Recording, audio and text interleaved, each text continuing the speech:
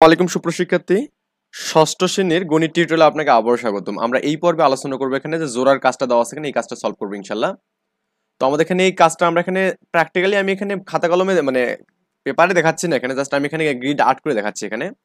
তো প্রথমত আমাদের এখানে এ ফোর সাইজের একটা কাগজ পোস্টার পেপার বা কাগজের স্ট্রিপ নিতে বলছে এখানে ওকে তো আমরা প্রথমত যে কাজটা করব, আমরা একটা এখানে এ ফোর সাইজের একটা পেজ নেব এভাবে। আই থিঙ্ক ধরুন আমাদের এটা হচ্ছে একটা এ ফোর সাইজের পেজ আমি নিলাম। যদিও আমার এটা মানে খুব বেশি একটা ভালো হয়নি মেবি যাজ্ঞা এ ফোর সাইজ একটা আমি পেজ নিলাম ইনিশিয়ালি আমাদের এখানে এই কাজটা এখানে করব এখানে ওকে দেন তারপর কি বলছে দেখুন এখানে? এরপর বলছে এখানে যে স্ট্রিপ দিয়ে আমাদের এখানে পাঁচ বাই চার মানে চার বাই পাঁচ অংশ চিহ্নিত করতে বলছে। তার মানে এই যে এ ফোর সাইজের যে পেজটা আছে, এটাকে আমি কি করব এখানে? পাঁচটা ভাগে ভাগ করব এখানে। কি করব এখানে? পাঁচটা ভাগে ভাগ করব এখানে। এই যে একটা এখানে হচ্ছে দুটা করলাম এখানে। তারপরে যে তিনটা করলাম এখানে।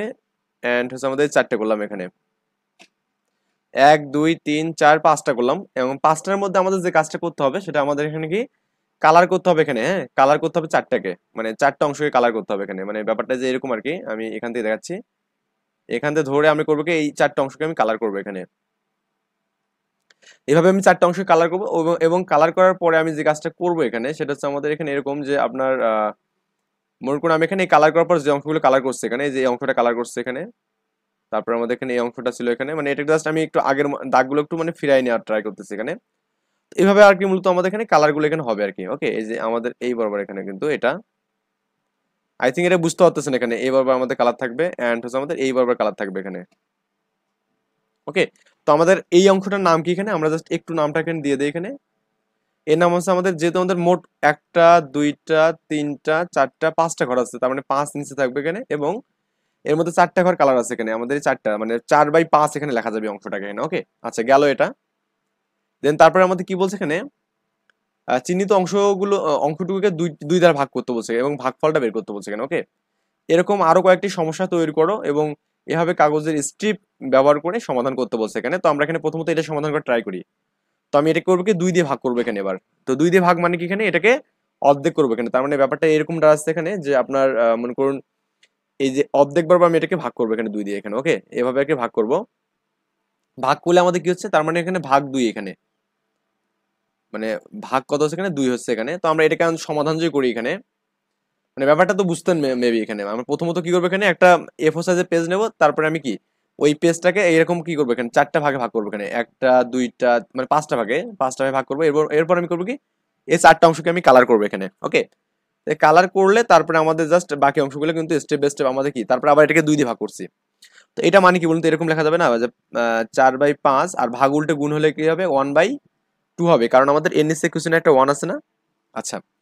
এখন আমরা যেটাকে গ্রিডে দেখতে চাই, এটাকে এভাবে লেখা যাবে এখানে যে আপনার চারকে চার পাঁচ দুগুণে দশ, বা এটাকে লেখা যাবে কি? দুই দিয়ে কাটলে দুই একে দুই, পাঁচ দুগুণে দশ হবে। তার মানে এখানে দুই দুগুণে চার আর পাঁচ টু বাই ফাইভ লেখা যাবে এখানে ওকে তো এটাকে আমরা আগে যেভাবে শিখছিলাম এখানে চার চারকে চার তাই না? চারকে চার এখানে। তো চারকে চার মানে আমরা কি? এটাকে উলম্ব ধরছিলাম, এটাকে আমি ধরছিলাম উলম্ব ধরছিলাম, আর এটাকে আমি ভূমি ধরছিলাম এখানে।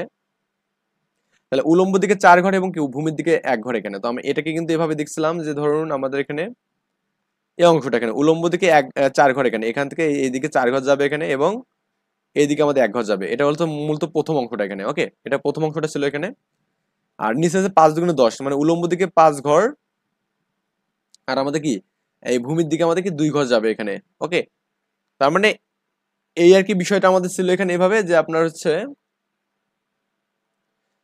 আচ্ছা আমাদের এটা তো বুঝতে পারছি এখানে। এটা এত ডিটেলস করার দরকার নেই। এখন আমরা এরকম আরেকটা প্রবলেম এখানে করি এখানে। ধরুন, আমি আরেকটা প্রবলেম দিলাম এরকম যে আপনাকে সে ফর এক্সাম্পল ধরুন আমি একটা একটা দিচ্ছি এখানে জাস্ট বাকিগুলো আপনি একটু করে নেবেন বা দেখে নেবেন। এটা একটু বেশি বোল্ড হয়ে গেছে এটা।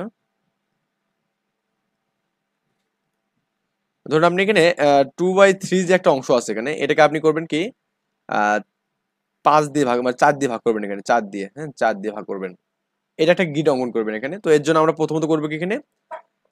তিনটা ঘরওয়ালা একটা মানে এফোর সাইজ একটা পেজ নেবে এরকম। নেওয়ার পর করব কি? এটাকে দুইটা তিনটা অংশে ভাগ করবে এখানে, তাই না? কটা অংশে তিনটা অংশে। তো আমাদের একটা গেল এখানে। এই যে আর কি।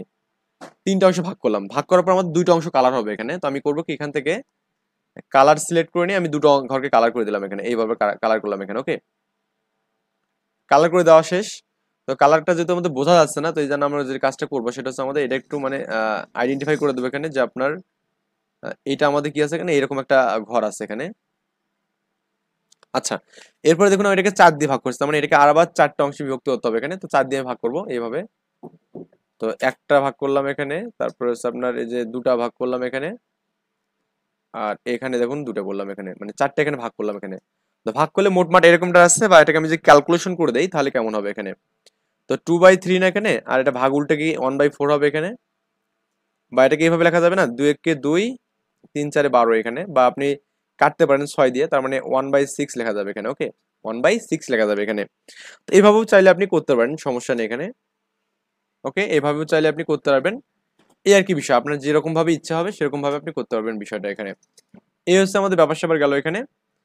এখন আমরা দেখব যেটা, সেটা হচ্ছে আমাদের আমরা এখানে নেক্সট টিউটোরিয়ালে দেখব যে আমাদের এখানে এই ভগ্নাংশের যে গুণের যে অংশটা আছে এখানে, এটা করব এবং আপনি চাইলে এখানে করতে পারেন যে এরকম টাইপের আরও অনেক এক্সাম্পল দিতে পারেন এখানে। আপনি এরকম দিতে পারেন যে পাঁচ বাই সাত দিয়ে এটাকে দুই দিয়ে ভাগ করতে পারেন এখানে ওকে এরকম একটা এক্সাম্পল দিতে পারেন। তারপর আপনি এরকম করতে পারেন যে হচ্ছে তিন বাই চার দিয়ে এটাকে আপনি হচ্ছে পাঁচ দিয়ে ভাগ করতে পারেন এখানে। এরকম অসংখ্য এক্সাম্পল আপনি দিতে পারবেন এখানে। তো আপনি এটা বাসায় প্র্যাকটিস করবেন এই বিষয়গুলো এখানে। আর আমরা নেক্সট টিউটোরিয়ালে ভগ্নাংশের গুণ নিয়ে কাজ করব ইনশাল্লাহ